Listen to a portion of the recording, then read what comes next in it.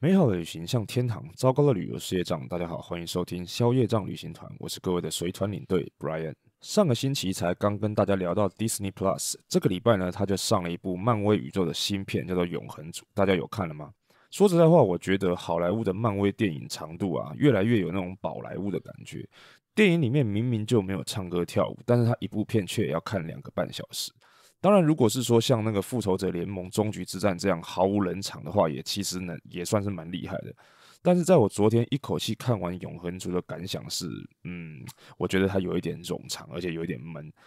倒不是说电影我觉得不好看，只是跟以前漫威的风格不太一样。而且我觉得这次的电影花了很多的时间去刻画每一个永恒族他不同的角色能力还有个性。然后呢，又把他们的出现跟很多我们已经知道的古文明啊，还有神话结合起来。像名字有一个很像雅典娜的 Thena 啦，还有那个跟希腊神话结合的那个 Icarus，还有美索不达米亚神话里面有一个角色叫做吉尔加美什。可是呢，这部电影最后后段又有一种让让人家感觉它是草草结束，然后留下一堆彩蛋的这种感觉。可能是因为我自己是属于那种没有看过漫威漫画的人吧，所以他们电影的那两个彩蛋我都要另外去 Google 我才知道是什么意思。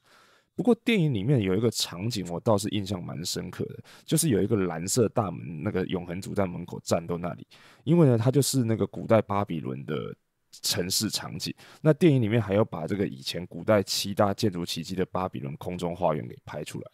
不过我之所以对这个场景印象深刻的原因，是我自己真的有亲眼见过那个蓝色的大门，而且这个门还有一个名字叫做 Ishtar Gate，它呢是这个古代巴比伦的其中一个城门。那我那个时候是在德国的贝加蒙博物馆看到的。我之前应该有跟大家提到过，我自己是一个很喜欢古文明的人，所以像这种比放一些古文明的一些展览的。博物馆我都非常有兴趣，而且呢，这个博物馆就在一个德国叫做博物馆岛的地方，上面有好几个博物馆可以看。只是呢，当时我去的时候是因为带团，所以我没有办法每一个地方都进去看一看。将来我自己如果有机会可以去柏林自由行的话，我想我应该还是会再去逛一逛的。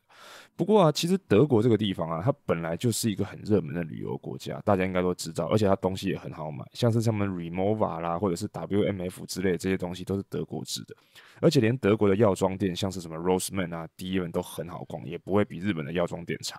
因为我们大部分人都知道，德国人的做事通常是比较严谨的嘛，所以像是我们都会觉得德国产的东西品质通常都不会太差。但是我只能说啊，德国人这种严谨的性格，其实要看放在什么地方。有的时候你真的会觉得他们的那种一板一眼，真的会让人家很受不了，不见得会是什么好事。像我自己之前在带团的时候，曾经在法兰克福机场遇到有一个海关，他在检查行李的时候，真的就是要你行李箱打开，一个东西一个东西的翻出来看，连你的盥洗包都不放过，真的是超级靠背的。不过这是题外话了。那我们说到这个电影彩蛋啊，在上一集节目的时候，我有跟大家预告过，这一期的节目要跟大家聊一下这个《金士曼起源》这部电影里面，它的片尾彩蛋为什么会出现那一个人。所以接下来就让我们从一次世界大战的过程开始讲起吧。其实呢，严格说起来，一战跟二战一样，都算是德国挑起的。因为德国人的民族性啊，除了严谨之外，也非常的骁勇善战，而且他们非常懂得去制定计划、开会什么的。如果大家工作上曾经有跟德国人打过交道，你应该就会知道我在讲什么。所以，其实，在一战开打之前呢，他们其实就已经有了一个叫做“施利芬计划”的作战方针。那这个计划呢，是当德国当时的参谋总长斯利芬伯爵所制定的，所以它叫做斯利芬计划。但是这个斯利芬伯爵他在大战开打的前一年就已经过世了，所以实际上去执行这个计划是后来的德国参谋总长小毛奇将军。那这个计划的内容呢，主要是为了让德国避免在战争开打的时候受到法国的跟俄罗斯的两面夹击，所以他的作战方方针呢，就是在大战一开始的时候，只用少部分的兵力去驻守德俄边境，然后再把大部分的兵力拿去攻打法国。预计呢，在六个星期之内呢，就打败法国之后，然后马上抽调兵力，再到东边去打俄罗斯，迅速的结束这场战斗。所以大战一开始的时候，他们本来觉得三个月之内就可以结束这场战争。然后一开始的时候呢，德国马上就对两个倒霉的中立国，也就是卢森堡跟比利时下一个最后通牒。大家可能会好奇，为什么要打这两个国家？因为啊，其实从普法战争之后，德国就在德法边境布下重兵，所以德国如果要直接从德法边境直接攻击法国的话，是一件很吃力的事情。但是卢森堡跟比利时本身是一个中立国，那所以法国跟比利时之间是没有任何防御攻势的，所以德国原本构想就是他们只要一宣战，然后这两个公立中立国就会直接投降。然后德国就可以直接穿过卢森堡跟比利时，直接去攻打法但是很可惜的，我们常常说嘛，计划赶不上变化。首先呢，德国对比利时的还有卢森堡宣战之后，卢森堡是马上就投降了，没错了。可是呢，比利时这个时候却硬起来跟德国对干，马上全国动员起来去坚守他们的国土。虽然比利时最后坚守国土还是只有撑了差不多两个多星期左右就被德国占领了，但是法国也因为这两个星期的时间完成了作战准备，而且呢，也因为德国打了比利时，让原本还在观望的那个英国加入了战争，那英法联军就跟德国在巴黎附近的一个叫做马恩河的地方进行了一场。西部战线的第一场战争，也就是马恩河战役。那这场战役呢，打了不到两个礼拜，伤亡就超过三十万人。而且当时法国前线战况吃紧的时候，还曾经从巴黎调动了上百辆的计程车，载着他们的阿兵哥上前线。因为呢，一战之前的步兵真的就是纯步兵，所以呢，是在这件事情之后，一战之后步兵才开始有配备机动车辆，不然都是用靠脚走的。那这个马恩河战役呢，最后虽然是英法联军获胜，但是也没有直接将德军赶出法国，所以双方呢就进入了阵地战，然后两边开始挖壕沟，一直挖挖挖挖到海边去。所以接下来的四年的大战呢，基本上大部分的时间就是在这样朴实无华而且枯燥的壕沟战里面度过。这边要跟大家说明一下，之所以我会说这个壕沟战是朴实无华且枯燥的原因，是因为在一战初期的时候，这个战争的科技对于防守方是有很大的优势的，因为他们已经有机枪、大炮、铁丝网这种东西可以防御了。但是在进攻方还是没有什么改变，就只有步枪跟阿兵哥的血肉之躯。所以事实上，没有在进入壕沟战的时候，没有任何一方会轻易的发动进攻，因为你得到的效果跟你受到的伤亡完全是不成比例的。所以一旦进入壕，壕沟战基本上就等于战事僵持住了，所以德国原本要六个星期打下法国的这个施利芬计划，基本上就等于失败了。那既然这个西部战线打不下来呢，拖着也不是办法。于是德军呢就把他的兵力抽动出来，去转去东线去打俄罗斯。所以基本上一九一五年的战争就是以东线为主。可是这个时候的俄罗斯差不多也就已经完成作战准备了。所以虽然德军的火力呢跟能力都比德俄罗斯强大，东线战争德国基本上也都是打赢俄国的。不过呢。通常的那些状况都是属于那种伤敌一千自损八百的结果。于是这个时候东线到了后面呢，也开始挖战壕，也就是说我们又进入了僵持状况了。那但是我们说到这边，大家不知道会不会很好奇啊？德国的那些盟友跑去哪里了？这个时候我们就不得不说，我们常讲哦，不怕神一般的敌人，就怕猪一般的队友。奥匈帝国其实根本就没有什么战斗力，他连一开始自己宣战的那个塞尔维亚都打不赢。那后来打赢的那些战争，基本上都是有德国帮忙的那种德奥联军。那意大利就更夸张了，他不但一开始到现在根本就没有加入战争，而且他还在一九一五年的时候倒戈加入协约国。虽然意大利本身这个国家也就没有什么战力啊，不过这件事情倒戈还是会让人家觉得很不爽，就是了。所以啊，我很好奇，德国不知道到底是不是讨个派皮，才会在二战的时候还去找意大利结盟。幸好那个时候还有鄂图曼土耳其跟后来的保加利亚加入了同盟国，至少能够在南部战线帮德国多多少少分担一些压力。那其中最有名的一场战役，就是在一九一五年的时候，土耳其境内爆发的一场加利波利战争。鄂图曼土耳其的军队呢，成功挡下了五十万的协约国海军，因为他们想要进入达达尼尔跟还有这个博斯普鲁斯海峡。而且当时土耳其的指挥官之一，就是他们后来的土耳其国父凯莫尔。但是面对到东西战线都开始交夺的情况之下，作战双方也开始发展出一些像什么毒气战啊、空战这种方式，想要打破僵局，但是都没有起到什么决定性的作用。可是呢，战争时间一拉长，对于同盟国其实是比较不利的，因为像是英法这种协约国，他们还有海外的殖民地，什么纽西兰啊、澳澳大利亚啦，还是非洲那种国家的部队可以调动加入战争。可是德国、德国跟奥匈帝国可是没有这些东西，他们死的都是德国人、奥匈人。所以呢，在一九一六年的时候，德国决定向法国的军事重地凡尔登发动一场号称要让法国把血流干的处决地行动。于是呢，德法双方就爆发了一场的凡尔登战役。这场战争呢，持续了十个月，双方就又损失了三十万士兵。最后虽然是法国取得胜利，但是他们也损失惨重。同年的七月呢，英国为了要减轻法国在凡尔登的压力，于是呢就对德国发动了一战史上最惨烈的一场索姆河战役，也是战争史上第一次拿坦克出来用。短短四个月的时间，双方就死伤了超过一百三十万人，而且重点是还没有分出胜负。就这样，一直到了一九一七年的时候，作战双方终于体会到这是一场。根本不会结束的战争，士兵伤亡啦，食物短缺啦，还有传染病爆发这些问题，通通都开始出现，而且人民也一直都苦不堪言，开始就出现了反战的浪潮。那本来就穷的俄罗斯，英国在经过几次的战争失败之后，根本就已经是民不聊生的状况。再加上沙皇尼古拉二世宠幸电影里面的那个像流浪汉一样的妖僧拉斯普丁，所以引起自己手下的军方还有贵族啊资本家的不满。于是呢，最终就爆发了二月革命，沙皇尼古拉二世就下台了，然后由以临时政府来接替。那他本来想要去投靠自己的表哥，也就是当时的英国国王乔治五世，但是却被他拒绝了。后来的结果呢，就跟电影里面演的那样差不多。列宁回到了俄罗斯，领导十月革命，然后推翻临时政府，成立了苏维埃政权，然后俄罗斯就这样退出了一次世界大战。尼古拉二世后来他全家呢也被苏联的红军通通处决杀死。不过啊，虽然俄罗斯已经退出了，但是这个时候美国却宣布参战了。原因呢，是因为德国发动了无差别潜艇战，攻击了美国的商船。另外还有的原因呢，就是像电影里面描述的这样，美国拦截到了德国发给墨西哥的外交电报，然后告诉墨西哥说，他们只要他们对美国宣战，等战争结束了之后呢，他们德国就会协助墨西哥把之前美墨战争失去的土地通通还给他们。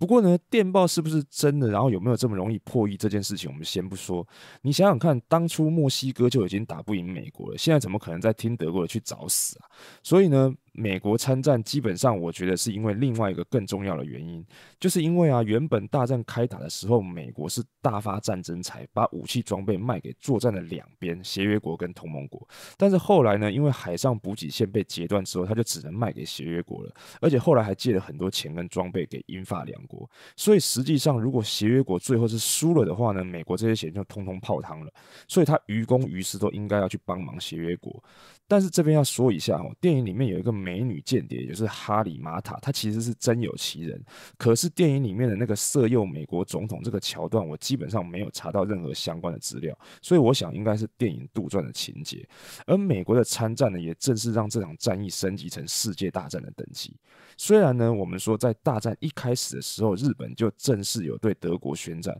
可是其实日本主要也只是想要占领德国在中国的那些租界地，还有太平洋上面的一些小岛。对于欧洲大陆上的战争，基本上根本就没有起到什么作用。另外呢，中国有参战，只不过一样也，他们也就只有出劳工而已。那其他还有很多不同的国家，他们大部分都是只是那种名义上宣战，或者就是像一些什么殖民地独立，或者是等等的这种零星的战争、小战争而已，并没有像美国参战的影响这么大。不过啊，从美国宣战到实际投入军队到欧洲战场，还需要时间。再加上德国这个时候也已经没有东线那个俄罗斯的威胁，所以德军就打算趁这个机会集中对西部战线发动攻击，希望可以在美军赶到之前就击败英法联军。所以他最后在一九一八年的三月跟七月之间呢，就发动了五次攻击。很可惜的，还是没有歼灭协约国的主力，最后也只能退回战线防守。不过这个时候，除了德国之外的同盟国的其他国家都差不多已经打不下去了，只有德国还想打而已。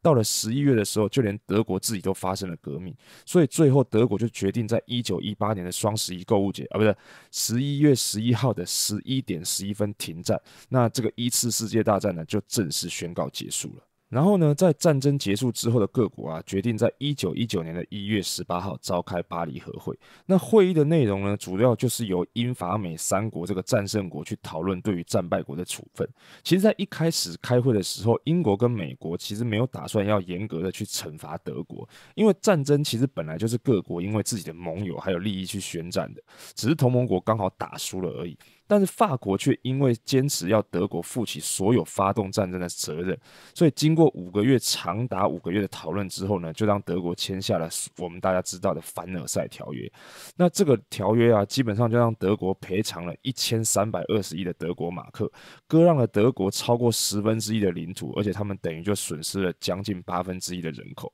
而且让他们要求要裁减军备，不得拥有空军，就连陆军都不能超过十万人，这个人数差不多就只能拿来当警察而已。